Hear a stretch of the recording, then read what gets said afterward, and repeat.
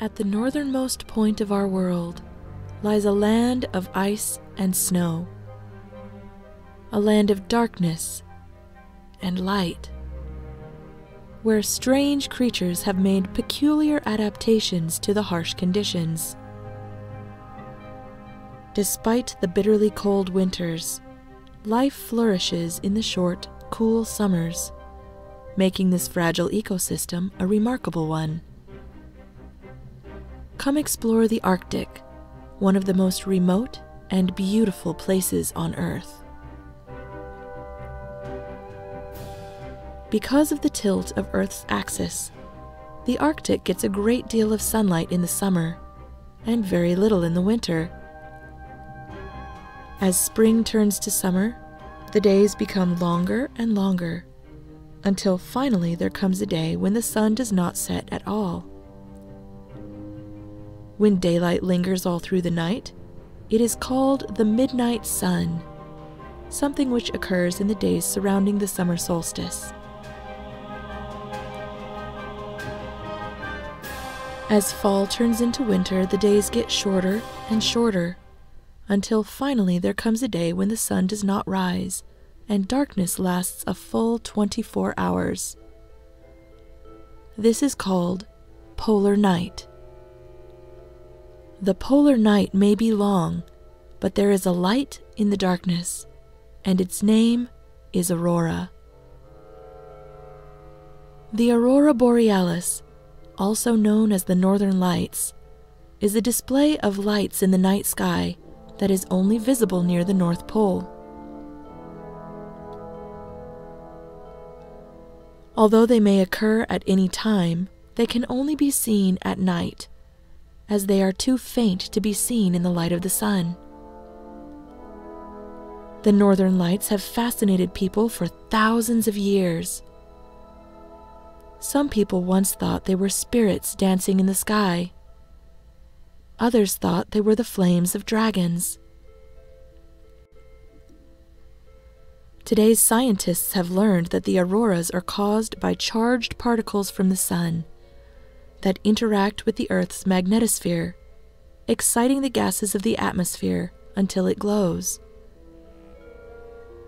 Auroras will also occur in the skies surrounding the South Pole where they are called the Southern Lights. Any place on Earth far enough north that it has at least one night where the sun does not set and one day where the sun does not rise is considered to be inside the Arctic Circle. The Arctic Circle is an imaginary line that encircles the North Pole at about 66 degrees north latitude. The Arctic is mostly ocean, but it also includes parts of Greenland, Canada, the United States, Russia, Norway, Finland, Sweden, and Iceland. Lands at the southern edges of the Arctic Circle are generally covered by tundra. The tundra is vast and, for the most part, treeless. The short Arctic summers are too cool and too brief to allow trees to flourish here. But there is another barrier as well permafrost. Beneath a thin, active layer of soil that thaws and refreezes every year, the ground is permanently frozen. The plants that survive, mostly grass, moss, and shrubs, grow close to the ground and have shallow roots. Although there is little rain on the tundra, summer is very wet. The frozen upper layer of soil thaws out, but water cannot sink into the ground past the frozen barrier of the permafrost. Since temperatures there rarely climb higher than 54 degrees Fahrenheit or 12 degrees Celsius, very little of the water evaporates.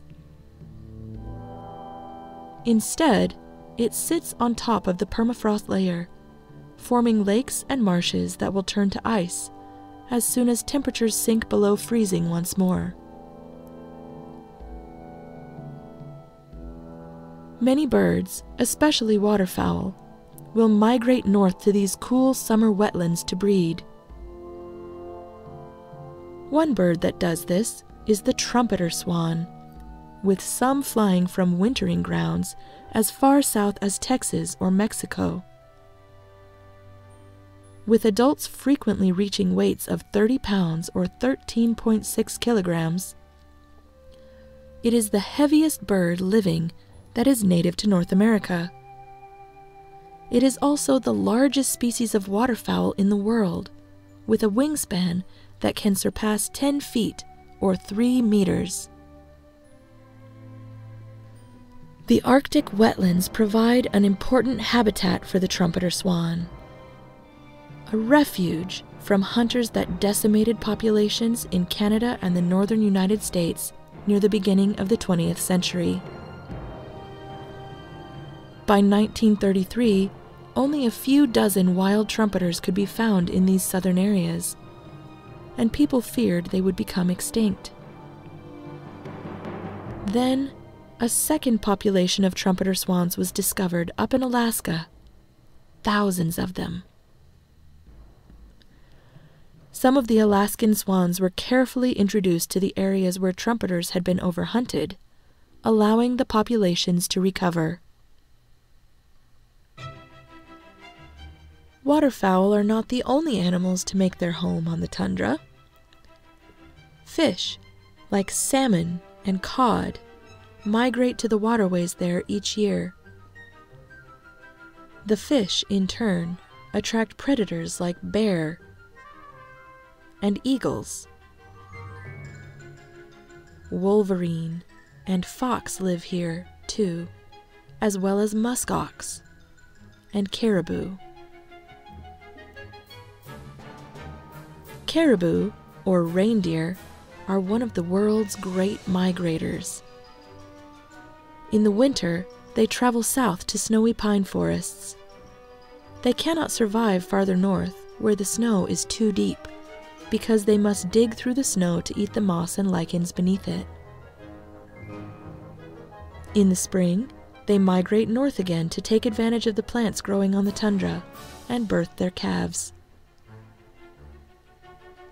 Some North American caribou have the longest migration of any land mammal in the world up to 3,000 miles or 5,000 kilometers. Animals attempting to survive in the Arctic need every advantage they can get, and some have found it by changing their appearance. In a land of ice and snow, it is sometimes helpful to be white yourself. Some animals, like the snowy owl, keep white feathers year round. Others, like the Arctic fox, wear brown or gray fur in the summer and only turn white in the winter. Another color changer is the ptarmigan. Covered in patchy brown and white feathers in the summer, they begin to change their plumage as the days shorten. Both male and female ptarmigans will go through the winter in a coat of nearly pure white feathers. Once the snow begins to melt, bright white birds can easily be spotted by predators, and so they change back.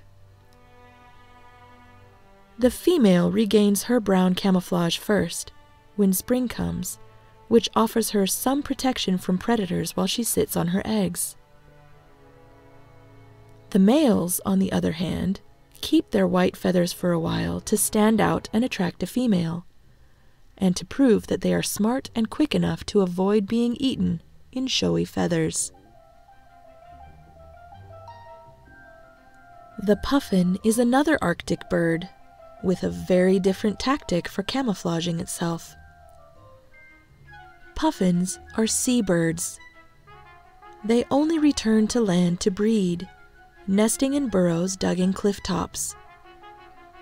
They prefer to breed on islands, where risk from land predators is much lower.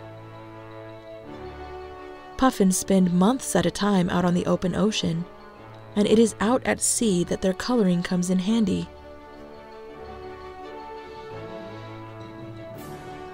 They have black feathers on their backs and white feathers on their stomachs.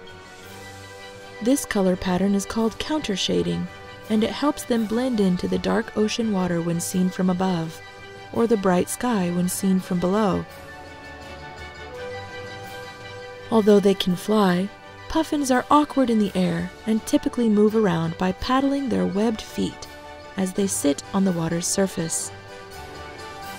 To catch fish, they dive, moving along by flapping their wings underwater, much as penguins do. The rich feeding grounds of the northern oceans attract larger animals than puffins. Much larger. Humpback whales travel north in the spring to feed on the krill and small fish abundant in the frigid waters. Although humpbacks are often solitary, they sometimes form small groups, especially when hunting. A group of humpback whales together can use a special method called bubble netting to trap fish and krill. The whales will surround and circle a school of fish. Then other whales begin blowing a ring of bubbles to trap them. Once the fish are trapped close together, the whales will come up from beneath them, mouths wide open, scooping up huge quantities of fish like a net. Their baleen plates allow them to strain the tiny creatures from the seawater.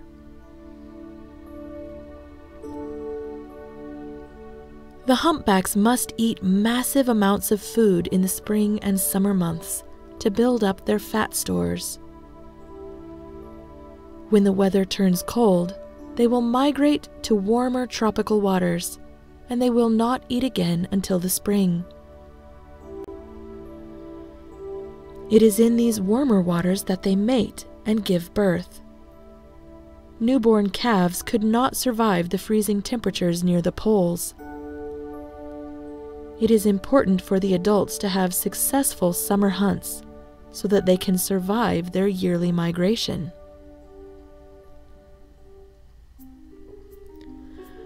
As we travel farther north, we come to areas where the snow and ice never completely melt, in a place called the High Arctic. Even here, there is life. Instead of tundra, the High Arctic has polar barrens. Far fewer plants survive here, mainly moss and lichens. As a result, most food chains do not rely on land growing plants. Instead, they begin in the sea. The walrus is at home on the land, in the water, or on the ice. They sleep and rest on beaches or on ice shelves. They prefer to live near shallow waters Walrus cannot dive as deeply as their relatives, the harp seals, and must be able to reach the seafloor to find their favorite foods clams, mollusks, and oysters. They may look peculiar, but walruses are well adapted to their icy habitat. Their wrinkled skin is nearly 4 inches or 10 centimeters thick in places, and the layer of fatty blubber beneath it is even thicker, nearly 6 inches or 15 centimeters. The purpose of both is the same to allow walruses to stay warm in freezing Arctic waters. Thick skin and thick blubber contribute to the walrus's massive size.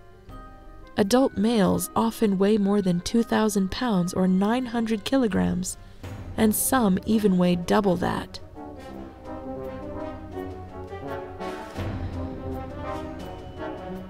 By far, their most recognizable trait, however, is their tusks. Both male and female walruses grow tusks, Tusks are in large teeth that can grow about 3 feet or a meter in length. Walruses use their tusks like ice picks to help pull themselves out of the water onto sheets of ice. They also use their tusks to clear breathing holes when ice covers too much of the water's surface. Finally, tusks provide some defense against the only animals that prey on walruses killer whales and polar bears.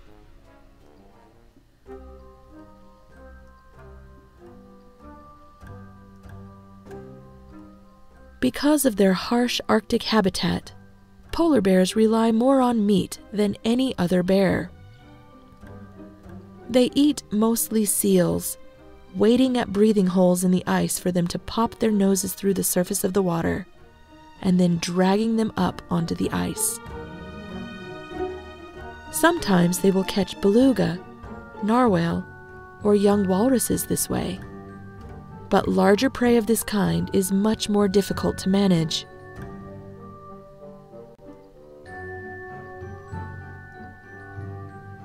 Polar bears are the largest land predators in the world, but they are also excellent swimmers, sometimes swimming for days at a time to move between hunting grounds.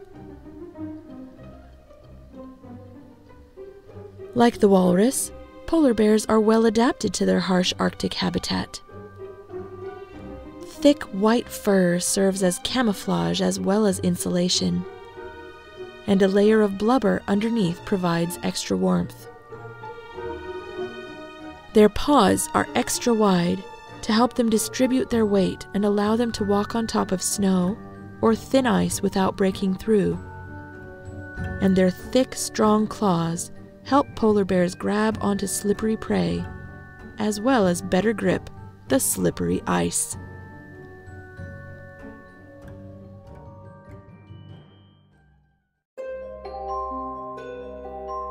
The Arctic is a harsh, forbidding land, but it is far from lifeless. Plants and animals live and grow and flourish in the conditions they are adapted for.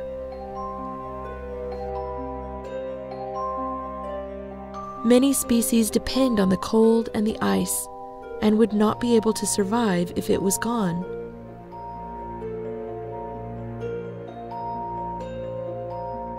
Because the Arctic climate is so unwelcoming to humans, much of it has gone untouched and undeveloped. But we can still disturb the delicate balance these creatures depend on. Hunting, pollution, and gathering natural resources may cause changes that upset the network supporting life in the northernmost reaches of our planet.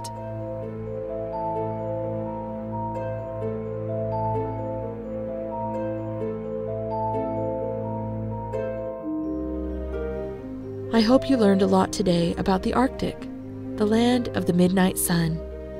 Goodbye till next time.